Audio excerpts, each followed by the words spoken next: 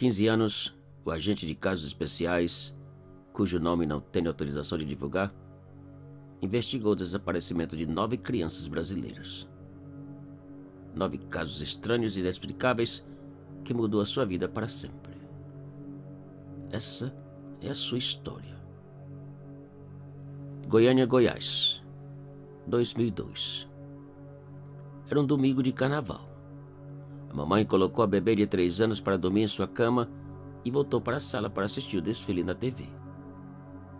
Uma meia hora depois, a bebê deu uma risadinha e calou.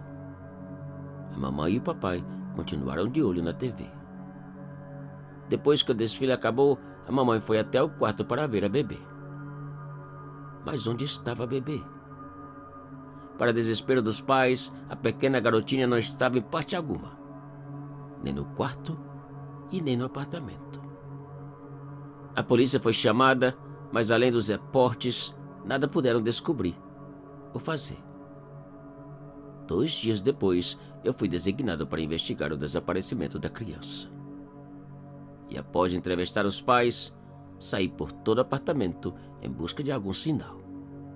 De qualquer coisa não encontrei absolutamente nada.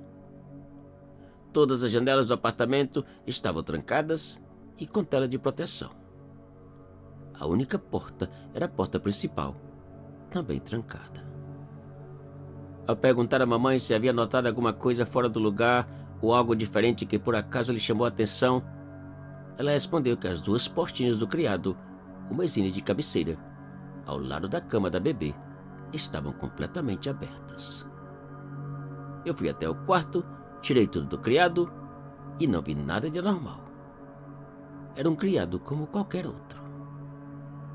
Depois de sair do apartamento, eu fui direto à recepção do edifício para dar uma olhada nas câmeras. Por volta das cinco da tarde, o casal entrou com o bebê nos braços e somente voltaram a aparecer com a chegada da polícia. Depois das cinco da tarde, a bebê nunca apareceu nas imagens. Eu não sabia o que pensar. Não conseguia entender como era possível uma criança desaparecer daquela maneira. No dia seguinte, por volta das nove da manhã, eu recebi uma ligação do diretor de operações, comunicando que uma outra criança havia desaparecido em Recife, Pernambuco. Eu peguei o primeiro avião e fui investigar. Na manhã seguinte, eu cheguei na casa da família. A coincidência dos fatos com relação ao primeiro eram impressionantes e preocupantes.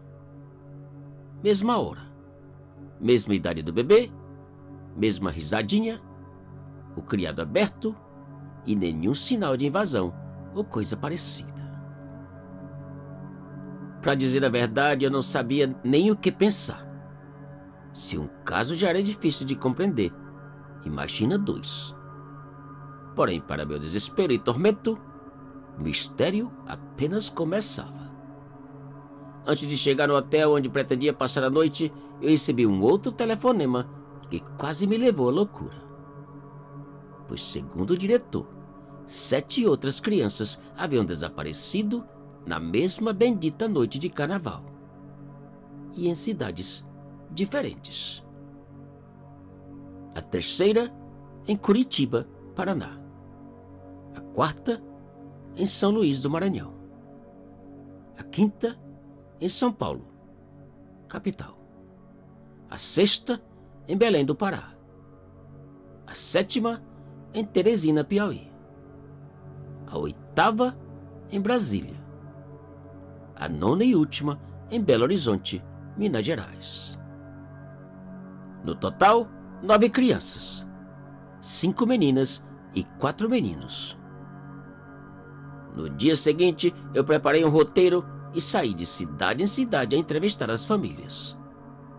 O resultado foi simplesmente impressionante e inacreditável. Todas as crianças desapareceram do quarto onde dormiam. Em todos os quartos havia um único criado que foi encontrado completamente aberto. As coincidências aumentavam. Todas as crianças, segundo os pais, desapareceram por volta das nove da noite. todas as crianças nasceram no dia 9 de setembro de 1999, às 9 horas da manhã. Todas as crianças nasceram de nove meses sem nenhum problema físico ou de saúde. Todas possuíam nomes com nove letras. As meninas chamavam Jaqueline. Os meninos, Sebastian. Cada coincidência, cada detalhe me afastava cada vez mais da realidade, da lógica e, infelizmente, de uma solução. Durante 15 anos, até aposentar em 2017, eu dediquei todo o meu tempo tentando descobrir o que aconteceu com os bebês. Infelizmente, não descobri nada. Em 2021, eu recebi um e-mail de um ex-colega contando de dois casos estranhos acontecidos na Austrália e Inglaterra.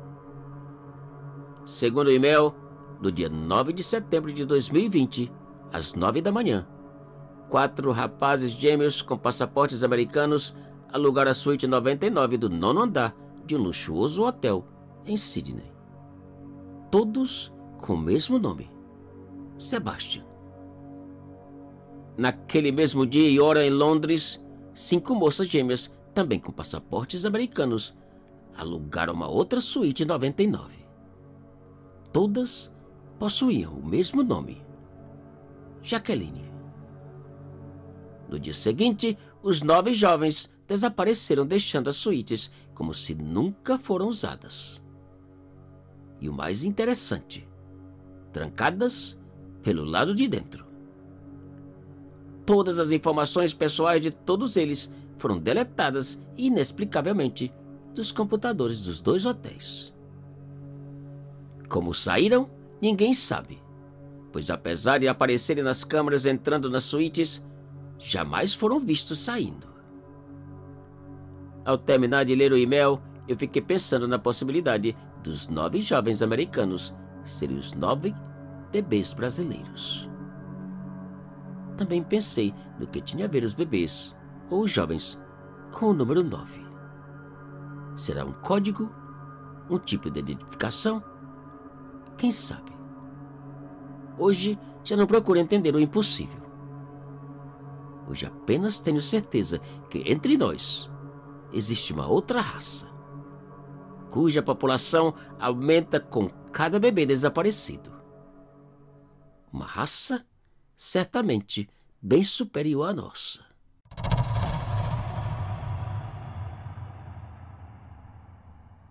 Te cuida e muito obrigado.